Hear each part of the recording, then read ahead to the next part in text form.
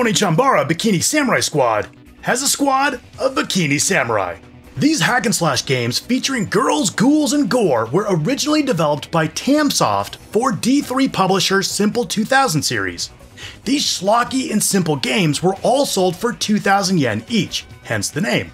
Onechanbara was so popular that not only has it spun off as its own franchise with around a dozen games depending on who you ask, but with spin offs of its own, like Schoolgirl Zombie Hunter, and even an admittedly awful Oni Onechanbara movie. While Oni Onechanbara Bikini Samurai Squad is the third installment in the series, it's the first in a lot of things. First to drop the simple 2000 branding, the first to make the leap to HD on the Xbox 360, and the first to make its way to North America. Even with all the firsts, it sells itself on the same simple premise as the previous games girls in skimpy outfits fighting zombies with swords and guns, spraying buckets of blood. What's not to love? Well, if you were a reviewer back in 2006, apparently quite a bit. The reviews at the time were not kind, and while there were a lot of valid criticisms, I think the expectations were off. You shouldn't go in expecting a deep story, complex characters, or even a ton of variety in the gameplay. Expect girls in bikinis hacking up zombies. And that's it. How much fun you have will ultimately be determined by how much mileage you can get out of this concept and this concept alone. Just so there's no question about what type of game this is, it opens with a girl in a shower, where steam and clever camera placement barely keeps this only M rated. Sort of reminds me of something. Did you get that fruit basket I sent you? Yes, we did, Basil, but you sent too much. I'm gonna have to send some to my mother. Oh, don't forget these. Oh, thanks. And there goes the neighborhood. Now these two sisters have to dress in their finest combat attire to defeat the zombies and other supernatural creatures and put an end to the outbreak. Onechanbara Bikini Samurai Squad continues the non existent story of sword wielding sisters Aya and Saki, who battle the living dead with the power of the baneful blood coursing through their veins. This is both a curse and the source of their power. The evil corporation behind the outbreak wants to capture the sisters and use their blood for world domination. Or something. Wait, what corporation? Does it even matter? There is a story, but to really know what's going on, you'll have to read the walls of text. And trust me, it doesn't really matter. The story is little more than an excuse to get these girls a fightin'. The promise of this game is not a compelling narrative. It's busty babes battling baddies, and you'll get what's promised. You can play as and switch between three characters. Aya, the older sister, who is trained in combat by their now deceased father. She wields dual swords to kill multiple enemies at close range. Saki, the younger sister, carries a giant katana and mostly focuses her attacks on agility and martial arts skills to outmaneuver foes and deliver precise attacks. And then there's Annna, yes, spelled with three N's, is a special force soldier who meets and joins with the two sisters early in the game. Her military background gives her access to firearms, explosives, and although not as sophisticated as Saki's, some melee combat techniques. As you travel to a series of increasingly difficult levels, you'll take on wave after wave of enemies in fast paced and frantic combat, using a combination of quick attacks, heavy strikes, and aerial maneuvers. Early on, everything will feel far too basic and easy with slow zombies who can deal only melee damage, Close your eyes and mash X, and you'll mow down pretty much all of them. Appendages fly off until they're just a pair of legs trying to kick you to death, all while gallons of blood burst from their bodies and splashing on the screen. All of this blood comes at a cost. Eventually, the sisters' blades become soaked, and they'll have to flick the blood off, or else their swords will get stuck in enemies. Similarly, Annna needs to reload her weapons.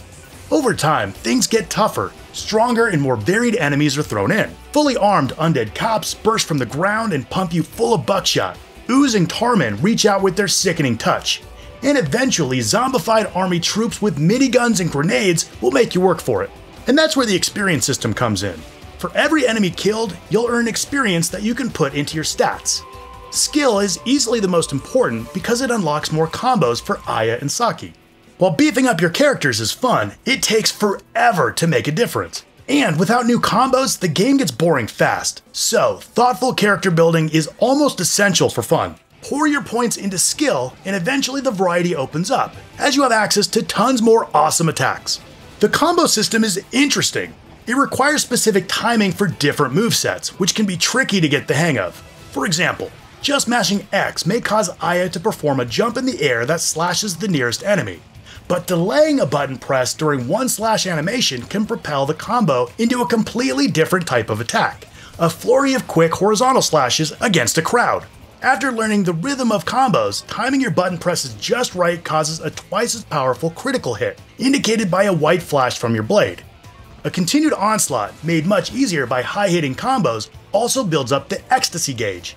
Once it starts to flash, you can unleash a powerful attack that's different for each character. The combat is surprisingly much deeper than it initially appears. Many enemies block attacks, forcing you to perform quick dodges to get behind them before striking, or you can perform an uppercut and juggle them in the air. There are even counters that deal tons of damage. After an excessive zombie genocide, Aya and Saki are automatically thrown into blood rage mode. As they scream out in pain and become completely enveloped in a crimson aura, the sisters' health starts to slowly drop in exchange for double the power and speed, with unblockable attacks and sometimes instant disintegration with one touch. Blood Rage will only end when you die, or by turning it off by touching a goddess statue, or by using one of the many dropped items you can stock up in your inventory. Now, you may have noticed that most of these features don't apply to Annna. In general, she's not as much fun to play since she doesn't have the combos and can't use Blood Rage. Her combat pretty much boils down to shooting zombies from afar, Luckily, the game uses a tag team system where you can choose two girls and switch between them on the fly. The girl who's tagged out can regain some of her lost health, making Annna's long ranged attacks great for when you want to heal up one of the sisters. Most stages in Onechanbara can be played in couch co op, though there is an online multiplayer. With the more limited visibility in split screen, it can be frustrating if you can't see everything you need to. However, even the jankiest hack and slash games are more fun with a friend, it always feels like something is missing when co op is absent. I'm looking at you, Lollipop Chainsaw. Not every level can be played with a friend though, which makes working your way through the game with a buddy a bit of a disjointed experience. Now, as fun as combat eventually gets, it's held back by some criminally boring and repetitive level design. Each area is full of drab, samey corridors that would be impossible to navigate without the in game map. The map places an obvious important event marker to show you where to go, so it's just a matter of going from mark to mark. However, it can still be confusing when it's not clear how the different maps connect.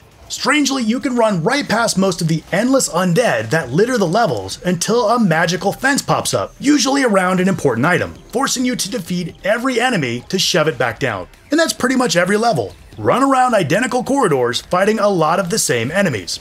Many of the game's chapters rehash gameplay environments, both their graphics and layouts, and music multiple times. There are only two unique levels that stand out a dull motorcycle stage where you drive in a straight line through hordes of zombies and mutant dogs, and a ridiculous boss fight with a zombie whale that politely beaches itself so you can kill it. When it comes to presentation, this is hit and miss, with a few more misses. Keep in mind, while this game is playable on Xbox Series X through backwards compatibility, it's still an early Xbox 360 game, and a budget one at that. Just look at it. This is not a pretty game. You'd be forgiven for thinking this is a PS2 or original Xbox game just upscaled. And unfortunately, when you retrace your footsteps in the same copy and paste levels, the imperfections really stand out. Dull colors, primitive looking textures, and rough as hell animations mar the look. Graveyards, deserted avenues, and parking garages provide a drab backdrop against which you'll splatter zombie puree to a grating soundtrack. The main characters, on the other hand, are where all of the visual polish went. If you only looked at them, you'd think the game looks good. Really good. Aya, Saki, and later Annna are rendered in loving detail right down to Aya's tramp stamp. The physics aren't great, with one notable exception.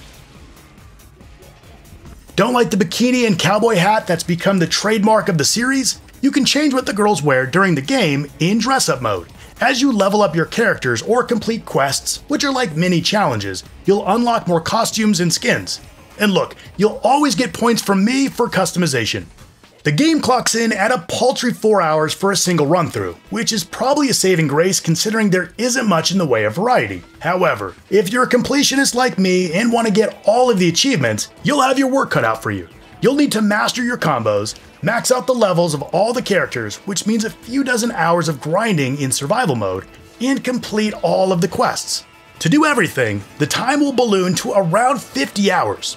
Onechanbara Bikini Samurai Squad is the very definition of a guilty pleasure. The storyline and characters are one dimensional and lacking depth with a focus on titillation rather than storytelling. And the gameplay can become tedious after a while with repetitive combat, limited enemy variety, and boring level design. However, even with all that, there's a surprising amount of fun to be had from it. Playing in couch co op is always a good time, but even when playing in single player, Working to master the combat mechanics and leveling up the characters is rewarding, not to mention the over the top fan service is always entertaining.